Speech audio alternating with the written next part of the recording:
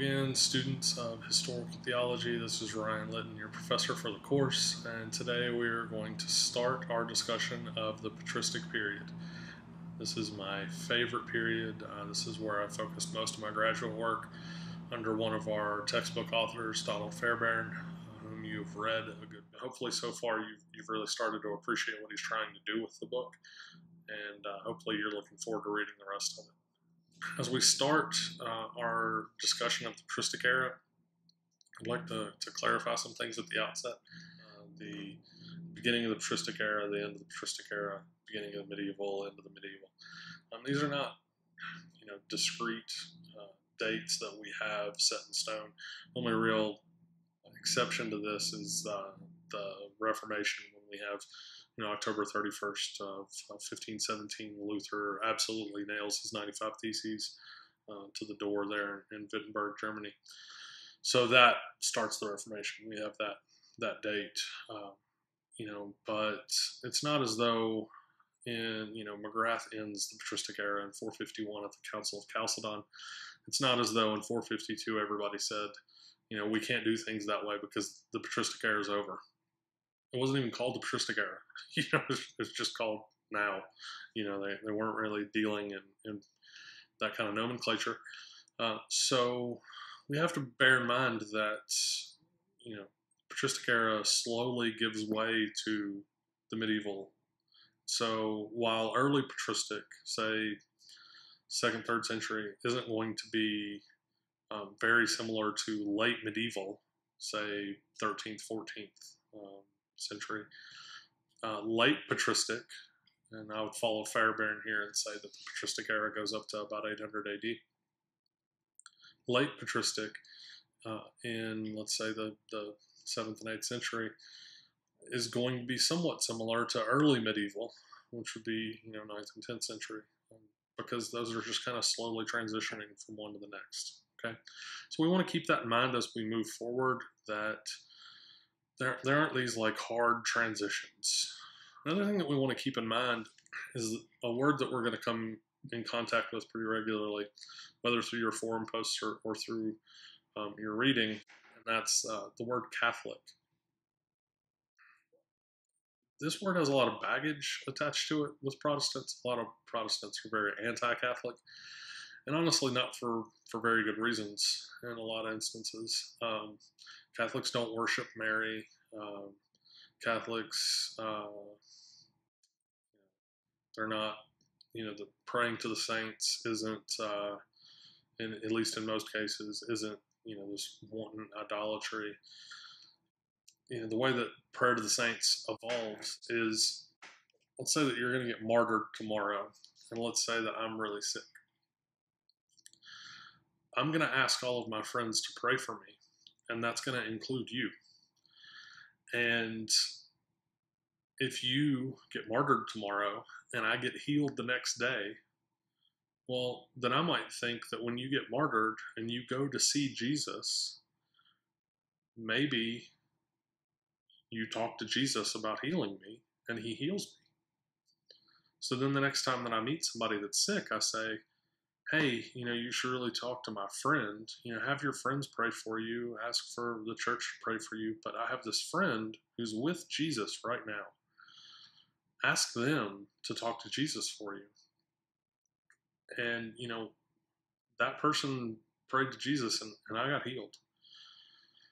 And so then if that person gets healed and they spread that story and other people get healed, then maybe you start to become the patron saint of healing from you know a cold or whatever, right? whatever it happens to be. Uh, but you see how that might develop. You know that if we have this notion that we should ask our friends to pray for us, then it makes sense that we would ask friends to pray for us uh, who have gone on to be with the Lord.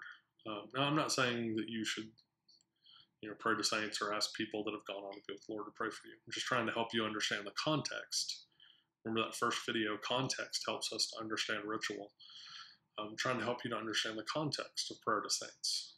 Okay, and so there's just a lot of baggage that comes along with the word Catholic, and uh, and hopefully, you know, hopefully you can appreciate where Catholicism comes from as a result of this course. I'm not trying to convert you to Catholicism. I'm not a Catholic. I'm not converting to Catholicism. Um, but I do have an appreciation for where they're coming from. I do have an appreciation for their doctrine um, in context. Context is very helpful for us. Okay. And so it's important that we understand that. It's important that we understand where that comes from. Um, when we run into Catholic, the word Catholic in this period, it's primarily going to refer to universal. That's what the word means originally, is universal. When we read in the Apostles' Creed, the one holy Catholic Church, it means the one holy universal church. As a matter of fact, it's fairly common in the patristic period. We have, you know, McGrath talks about these major centers of Christianity. We have uh, Jerusalem, Antioch, Alexandria, Constantinople, and Rome. And it's very common if you, in the patristic era, if you live in Egypt, to call yourself an Alexandrian Catholic Christian. What that means is you're a Christian in the Alexandrian region of the world, um, but you are a universal Christian. So it's sort of, you know, Alexandrian Catholic Christian, you know, start with a small, then move forward and move forward, you know, so Alexandrian Catholic Christian. Um, and then this sort of goes away um, when, you know, when Islam starts in the, the Arabian Peninsula in the 7th century, and then um, from there eventually moves around the Mediterranean Sea, moves across Africa, moves across Europe. It sort of meets, when it goes around the Mediterranean, it sort of meets um, above the Italian peninsula. And, uh, and it's there that they sort of get driven back. So then that means that that the Muslim conquest takes over most of these major cities of Christianity, except for Rome. So Alexandria, Jerusalem, Antioch, Constantinople, all of those get taken away. Um, they get they get controlled by Islam, and Rome is the only one that's left independent. So as a result, all that's left is Roman Catholic Christianity. And this is why Roman Catholic Christianity still exists today. Uh, and you know, there's more to it than that, we'll get to that when we get to that point in history. Um, but like I said, I just wanted to give you some context for that term. And this lecture is going to focus primarily on the ante-Nicene period, and that's uh, uh, anti uh, A N T E. It just means before.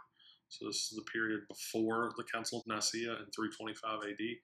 That's a that's a date that you should just know. Um, there's no tests in this class, but you know 325 AD, Council of Nicaea. That's that's a pretty important date in the history of our faith, and so that's that's a date that you should know. Um, so we're going to focus on the period leading up to that. First of all, there's a pretty clear shift at Nicaea. Um, Constantine is the emperor, and it's just prior to Nicaea that Christianity becomes a fully legitimate religion. After Constantine, for the most part, Christianity is safe from persecution. Uh, this provides theologians with ample time for pastoral duties and theological reflection. By contrast, prior to Nicaea, there were periods of intense persecution that seriously impacted the life of the church. This does not mean that persecution was constant prior to Nicaea. That's sort of a um, commonly held belief, but it's not really true. Persecution prior to Nicaea, prior to Constantine, um, it, there it does exist, and it exists to a significant degree, but they're sporadic. You know, we have quotes of Roman emperors, in fact, prior to Nicaea, saying, um, you know, if you come across Christians, yes, persecute them, but don't search them out. You know, we actually have two emperors in a row saying that, um, and so um, you know, that's kind of a big deal. We have emperors of Rome saying, "Yeah, persecute the Christians, but only if you just run into them. Don't don't search don't search them out."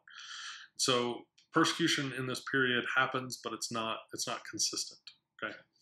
Um, second of all, the the Ante-Nicene period is a very unique period. The canon of Scripture is not um, officially settled, which is not to say that it's non-existent. Um, there's a, a, this notion that uh, the canon was set at Nicaea, and that's that's not really true. Uh, canon development is really complicated. Um, we have within the first century um, the the writings of Paul are seen as, as scripture by the author of Peter. Uh, the author Peter says, uh, you know, Paul's hard to understand, and people distort his words uh, like they do the rest of the scriptures. And so um, Peter is calling Paul's uh, letters scripture. Uh, we have um, a, a, reference to the Gospel of Luke in one of Paul's writings where it seems that he's calling Luke scripture. So there's a notion of, of the New Testament being scriptural, even while it's being written. But definitely, even in the, the second century, Irenaeus uh, refers to the four Gospels and the necessity of the four Gospels.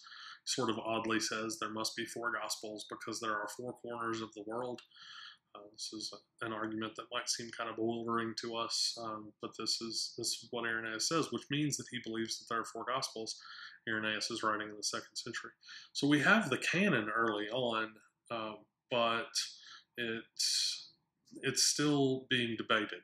You know, some some people want to include First and Second Clement. Some people want to include the Shepherd of Hermas. Some people want to include the Didache. Some people want to get rid of Hebrews, want to get rid of Revelation, want to get rid of James. So there's still some debate, um, and and this gets settled. The, all of the debates about it are settled by the fourth century, which is what makes people think that the canon is is determined in the fourth century. It's not determined in the fourth century as much as it's confirmed in the fourth century. It exists prior to that, but it's it's confirmed in the fourth century. If that makes sense. In addition, um, another thing that's interesting about the Ante-Nicene period is theologians are trying to determine the dividing line between Christianity and Judaism. Um, who is Jesus? How does he relate to the God of the Old Testament? How does his ministry impact this new thing called the church? What does it mean for Gentiles? How does Christianity relate to the larger portions of Judaism that reject Jesus as Messiah? How do we interpret Scripture, both Old and New Testaments? To be sure, this, these questions remain until today, but it's hard to appreciate how difficult it must have been to consider them for the first time. We, we have the benefit of all of these theologians wrestling with these issues and being able to read what they've written in our theological inquiry. They didn't have that. Uh, you know, one of the crazy things about the patristic period is they're solving issues that have literally never existed. They're they're asking and answering questions that have literally never been asked or answered. So we can forgive the Ante-Nicene theologians for not having perfect theology. You know, Justin Martyr, for instance, his uh, Trinitarian theology may not be Trinitarian. He, he, may not believe in the Holy Spirit as a person. Um, his Christology may be uh, subordinationist, um, but Justin Martyr is writing in the early second century. He doesn't have the benefit of the Council of Nicaea. He doesn't have the benefit of the Council of Ephesus, the Council of Chalcedon, uh, Council of Constantinople. Um, he doesn't have the benefit of these things to help him out with that. You know, particularly with the Holy Spirit. Uh, Nicaea almost entirely ignored the Holy Spirit. It wasn't until you know, almost 60 years later at the Council of Constantinople that they add the Holy Spirit into what's now called the Nicene uh, Creed, but it's really the Nicene Constantinople Creed. Constantinopolitan Creed. I am not sure how to say that. Um, but it's that addition in 381 in, in, Constantinople that adds the Holy Spirit. So we can appreciate and, and kind of forgive their mistakes in theology because they they don't have the benefit of all of this uh, reading. You know, um, in sharp contrast to that, we ought really ought to be surprised that they did such a good job. Um, Hill does a really good job with this when he's giving his biographical sketches. Uh, he he explains in great detail actually some of the problems of Justin Martyr and goes on to say we can forgive him for not being perfect. You know. So for the purposes of this lecture, covering the Ante-Nicene period. We're going to cover the major heretics and controversies leading up to 325, um, and we're going to cover the Novatian Schism and the nature of the church. Those are the two things that we want to talk about today. So, for the major heretics and controversies, first, let's think about what we mean by heresy. It isn't just sufficient to say heresy is, a teaching that isn't true. There are plenty of untrue things that aren't worth fighting over. Um, no, heresy is, is a more serious charge than just you're wrong. Uh, this is often lost on people, particularly in Facebook debates. uh, a heretical teaching is a teaching that jeopardizes the nature of salvation. This is the definition that I'm going to put forward. Uh, this is the definition that I've inherited from Dr. Fairbairn. Uh, heretical teaching is a teaching that, that jeopardizes the nature of salvation. Put another way, if a heretical teaching were true, salvation would not exist. So, for instance, if Christ is not God, he cannot save. This is essentially uh, Athanasius' argument that he puts forth in On the Incarnation, which I strongly recommend you read. It's uh, about 100 pages. He wrote it, wrote it when he was 19. Um, it would be uh, a good thing for you to read, maybe even a good thing for you to write your research paper on. Um, so let's let's look at our our first uh, major heresy. Okay, first major heresy is modalism. Modalism is a false view of the Trinity, wherein each person of the Trinity is just a mode or expression of God. Seen this way, God can only express himself as one mode at any given moment. This gives, uh, gives rise to significant problems when we see intra Trinitarian communication. For instance, Jesus' prayer in the garden, or when more than one person is present. So, for instance, Jesus' baptism or the transfiguration. It should be noted that all of our Trinitarian metaphors are modalistic. So when you say God is like water, um, and that water can be steam, ice, and liquid, uh, that's modalism.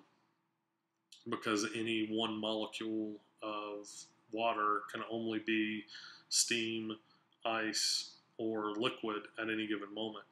Uh, and if you want to account for sublimation, which is uh, um, very specific situation where um, we can have steam, water, and ice um, all at the at the same time. Only one. Um, you, you, can still only have one molecule of, of water in each individual state. So that wouldn't be modalism. That would be tritheism because you have uh, all three things that are separate from one another in separate forms. So we, we really need to not use metaphors for the Trinity uh, in general because most of our metaphors lead to heresy. Most of them lead to modalism. Okay, modalism is a heresy because all three persons of the Trinity are necessary for salvation. Um, the Father plans redemption, the Son achieves redemption, and the Spirit applies redemption. If the Son is you know, on you know what we might call penal substitutionary atonement. If the Son is a sacrifice for sin, that sacrifice has to be presented to someone. And on modalism, that sacrifice can't be presented to anyone. Uh, moreover, um, according to Paul, it's the Spirit that raises Jesus from the dead. And if modalism is true, Jesus and the Spirit, only one of those can exist in any given moment. So the Spirit can't raise Jesus from the dead because Jesus doesn't exist while the Spirit exists. Um, so there are significant problems with modalism. Um, you know, the resurrection can't occur, um, redemption can't occur. Modalism just does not work. Okay. Now I'll deal with Orthodox Trinitarian uh, theology at a later time. We'll go through in detail what the Trinity um, how we ought to understand the Trinity historically. Um, but right now, we just want to talk about uh, the, the heresies that we see leading up to Nicaea. One of them is, is modalism. We see, see this in uh, uh, Novatius, uh, uh, Sabellius, um, you know, lots of different um, heretics in the church uh, are, are modalistic. Another heresy, and this is a heresy that hasn't quite gone away, is uh, Marcionism. And Marcionism comes from Marcion of Sinope. And Marcionism starts to teach around 144. Marcionism perceives a significant discontinuity between the Hebrew scriptures and what he had learned of Jesus. Rather than attempting any harmonization or clarification, he declares that there are two gods.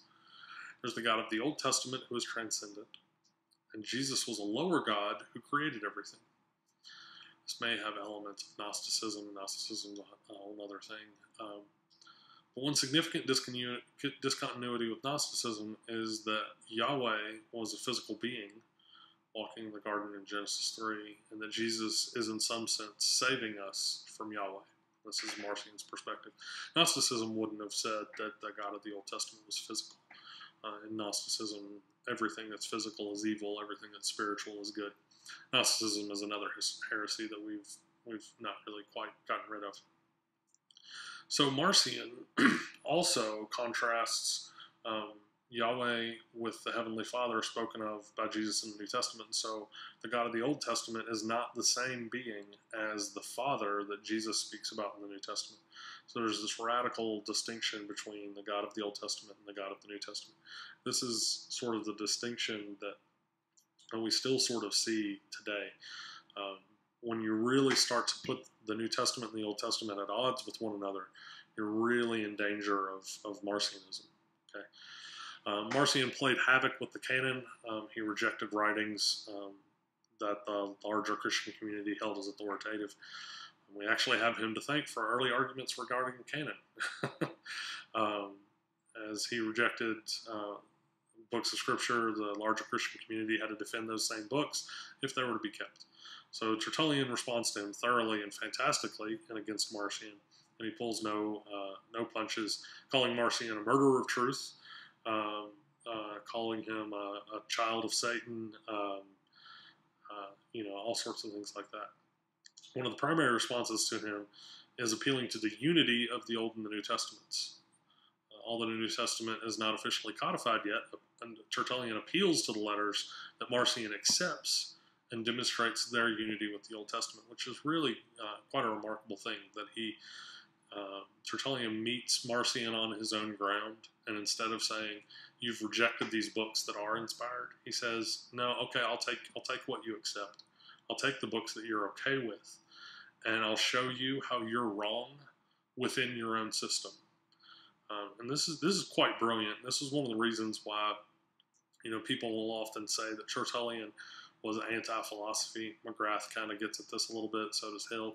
It's sort of popular to focus on some of Tertullian's um, quotes where he says things like, "What does Athens have to do with Jerusalem?" and um, "I believe a thing um, because it is absurd." And these these notions, you know, Tertullian used philosophy.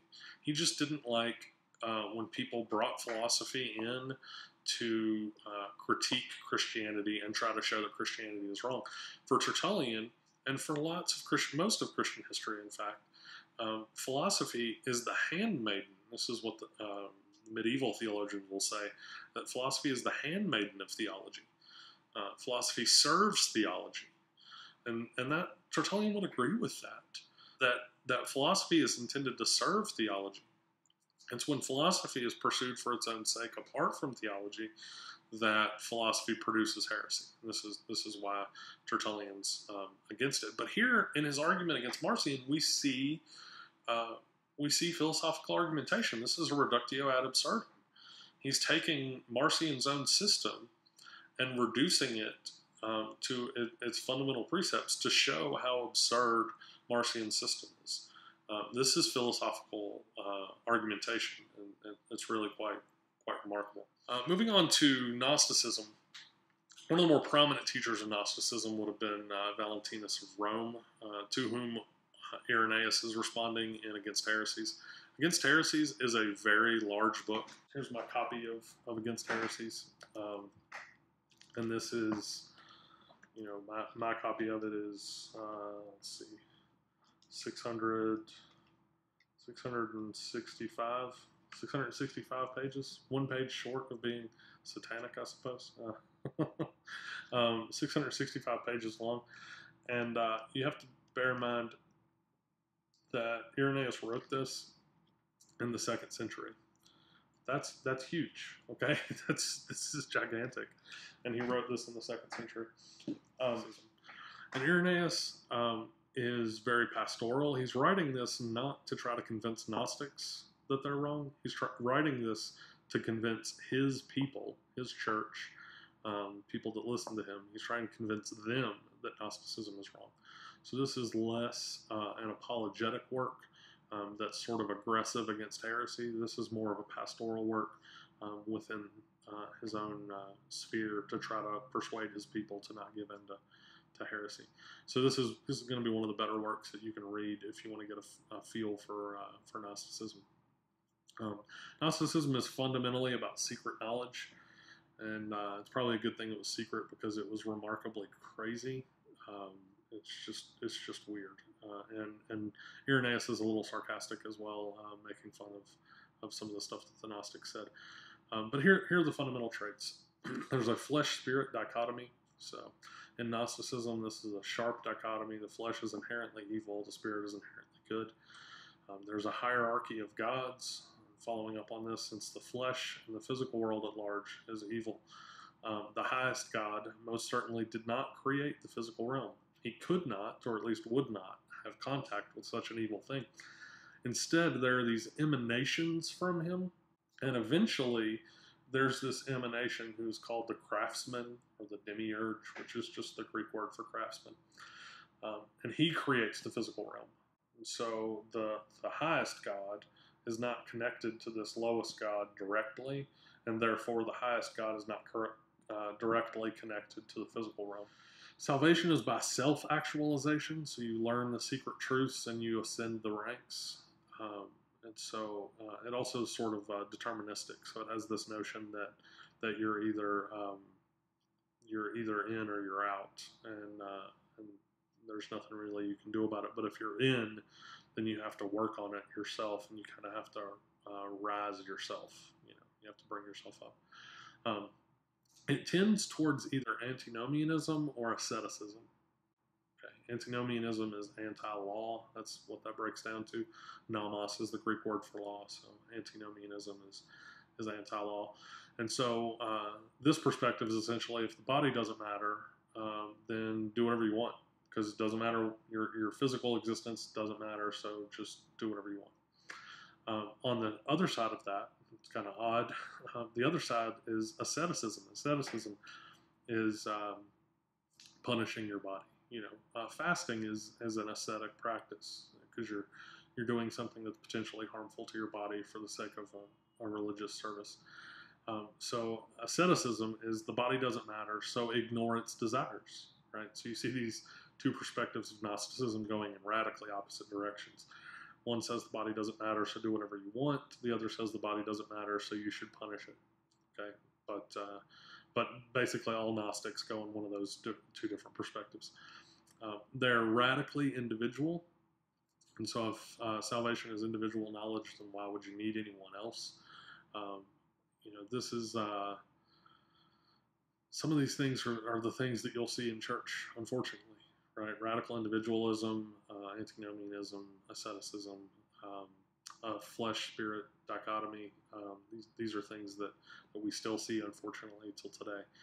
Um, there are Gnostic Gospels um, from which we get a lot of these um, these these things. If you're interested in learning more about Gnosticism, which it's kind of insane, so maybe you want to read some some more about Gnosticism.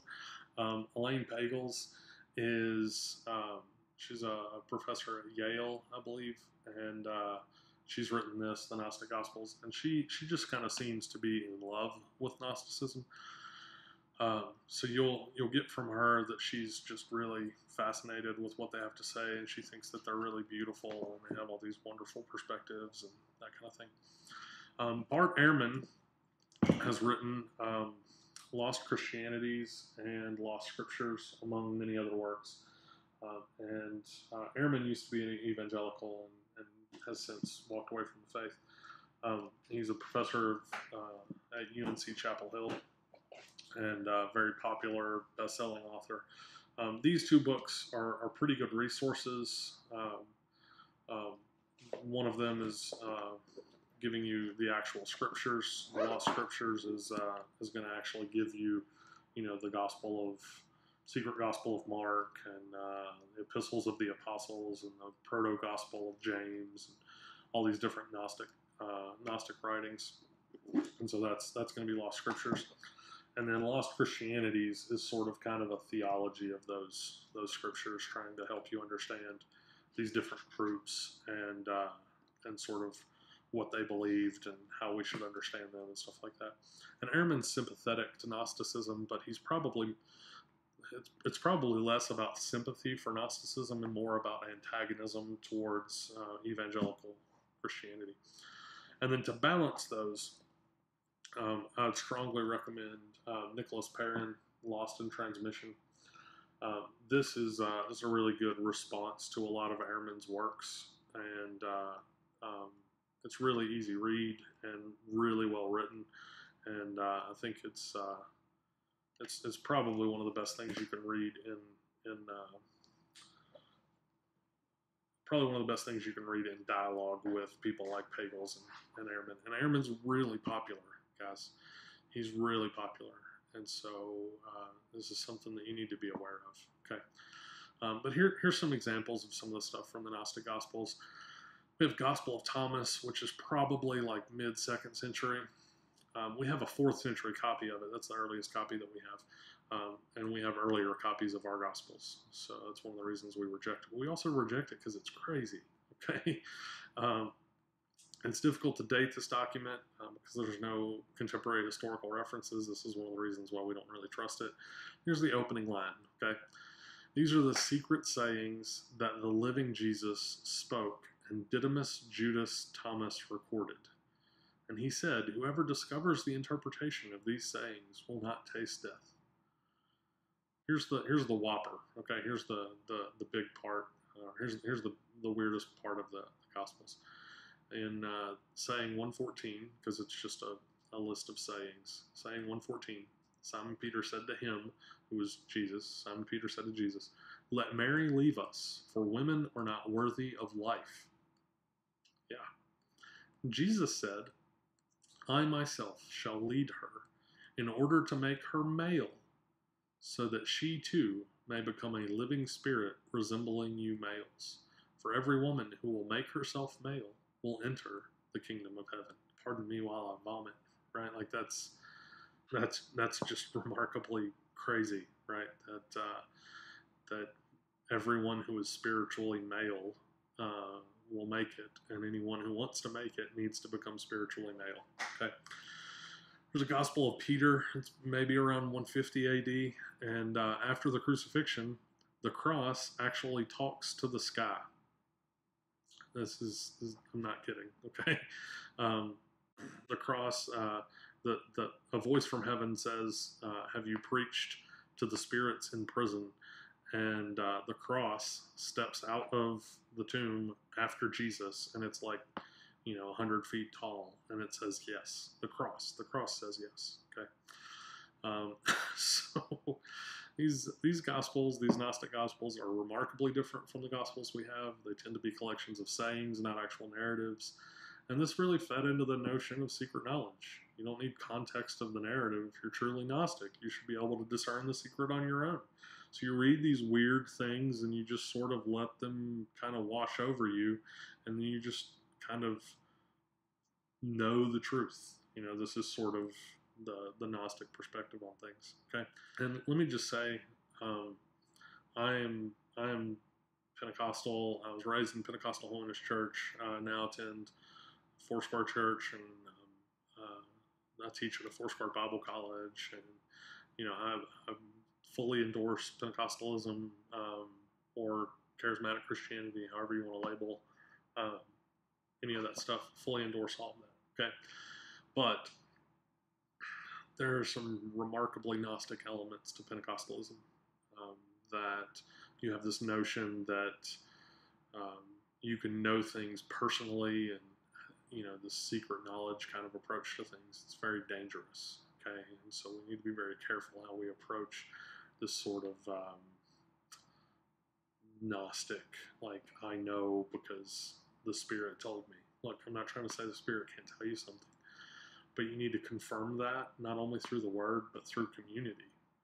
So this this individualistic like it's just me jesus and the bible this is very problematic okay? This is hopefully one of the things that you'll get from this course, particularly with regard to the patristic era, is that it's not just you, Jesus, and the Bible. And I'm, I'm not trying to take away your devotional life. Like, I love Devos, I love reading the New Testament, I love all that stuff, but you need community as well. You need the church as well. Okay. Uh, moving on to the Novatian Schism and the nature of the church. um, during the Decian and then later the Valerian persecutions, um, everyone was required to make sacrifices to the emperor. And the way that you prove that you made the sacrifice is certificates called uh, libellus. And several Christians offered the sacrifice. Several Christians refused to offer the sacrifice, but bribed the centurions who were um, trying to get them to make the sacrifice. And so they got the libellus without making the sacrifice. And so this led to a problem. What about those who lapsed during the Decian persecution? Those who denied their faith and offered sacrifices, sacrificati is what they're referred to in Latin. Um, those who purchased certificates indicating that they had offered sacrifices, libellatici, uh, those are uh, that's what they were called in Latin. Um, when Decius died, many of these Christians wanted back in the church. So we have three views. Um, we have Cornelius and then Stephen, who are uh, Roman bishops, and they both uh, are appealing for easy readmission into the church. Okay, so if you want to come back, then you're welcome to come back. Novatian, who becomes a rival bishop in Rome. This is the first time that we have a rival bishop in, in Rome. Um, he's a second pope. This is the first time this has ever happened. It's in the third century. And just think about that for a moment. This is the first time that the church is split, ever. Like this is the first schism. Okay. Um, Novatian is saying no readmission into the church. If you have sacrificed or bribed to, to get the libellus to show that you've done the sacrifice, even if you hadn't, if you've done either of these two things, you have denied Christ, you're still in your sins, and there's no sacrifice for you. So you're out. You you're doomed to hell. There's no you have no hope. And uh, and that's that's Novatian's perspective. Cyprian, who's in North Africa, tries to kind of blend between these two, try to balance between these two. He says um, we can have readmission for these people after suitable penance. And the way that you show this, this repentance is rebaptism. When you lapsed, you voided your baptism, and you must be baptized again. The way that Cyprian explains this is he says, No one can have God for his father who does not have the church for his mother. It's worse to split the church than it is to lapse. Someone who lapses only hurts himself, but someone who causes a schism hurts everyone. So, what Cyprian is suggesting is that salvation is only through the true church. A church split separates a child from his mother. And you may disagree with this, and, and I understand, you know, uh, Protestants tend to have a, a, a um, easier ecclesiology, not as, as, not as strict an ecclesiology as what Cyprian's going for here. Ecclesiology is just the doctrine of the church. The Greek word ecclesia is the, the word for church, and uh, ecclesiology is just the doctrine of the church. We tend to have a pretty um, weak ecclesiology, which isn't necessarily a bad thing. It's debatable, you know. Um, but what Cyprian's trying to get at here is is what is the nature of the church?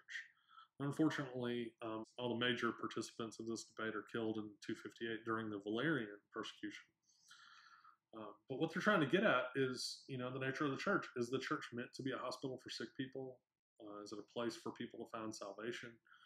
Or is the church supposed to be a community of saints and you must become a Christian before you enter? In this case, leaders must keep out those who are uh, not deemed to be true believers.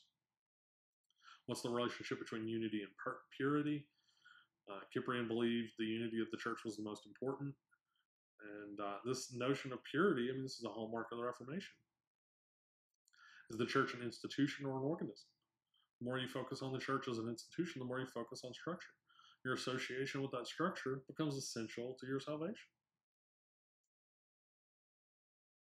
and you know, you like I said, you may have a problem with this strong ecclesiology. You may want to uh, you may want to move more towards Cornelius and Stephen. You know, easy uh, readmission.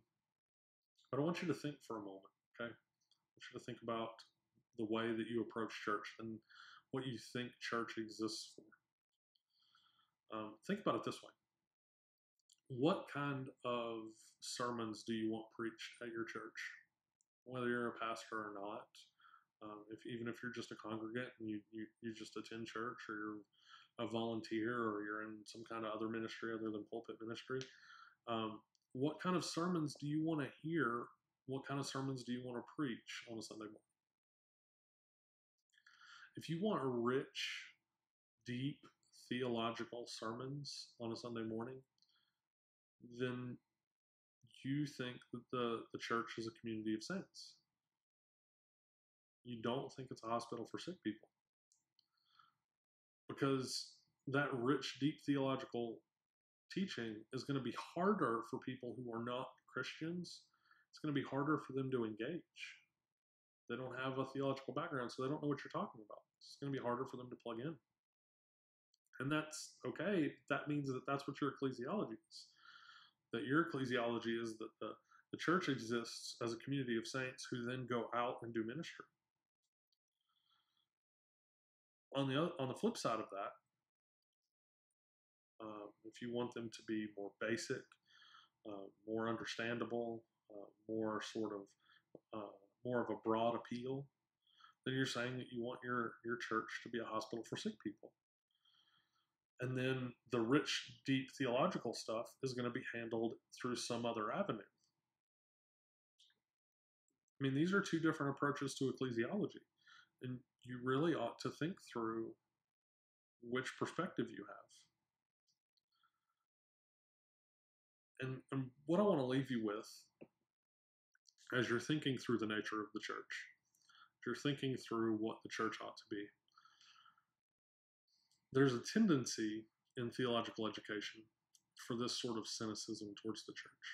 There's this tendency towards, you know, the more theological education you get, the more that you feel like you have the right answers, the more that you you tend to um, maybe get bitter towards some people and you, you, hear a sermon and you're like, well, that's not what that means. Or you hear a song and you're like, we shouldn't sing that. Um, I, you know, I'm speaking out of experience here. During my um, early theological education in Bible college, I, you know, I had a had a struggle with this. I'd listen to sermons and think, well, that's not what the Greek says, or you know, that's that's not the context of that passage, and uh, it's just it's a struggle. Um, and I, you know, I felt self righteous. I was very pharisaical, and you know, I know what I'm talking about, and these people don't. You know, this is this is a temptation in theological education. So, what I want to um, leave you with is, I want you to to think if you know someone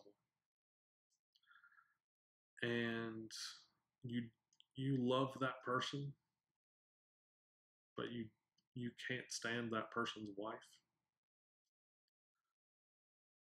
that's going to strain your relationship with that person.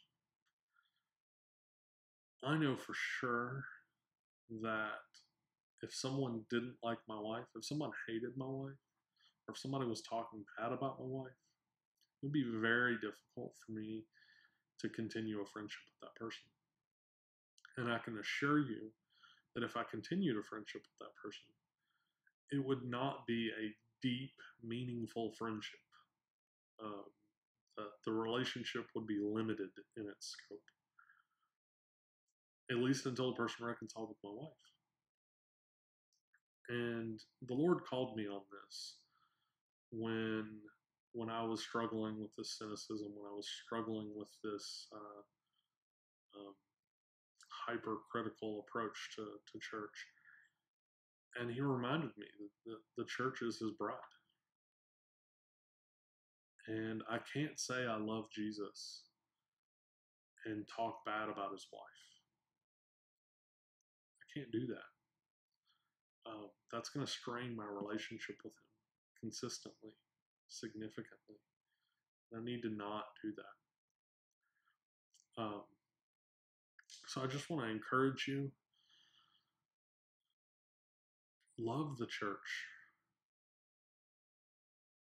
If you love Jesus, let your love for Jesus overflow into your love for the church, such that you could agree, at least in principle, with Cyprian, that to take someone away from the church is to take someone away from Jesus.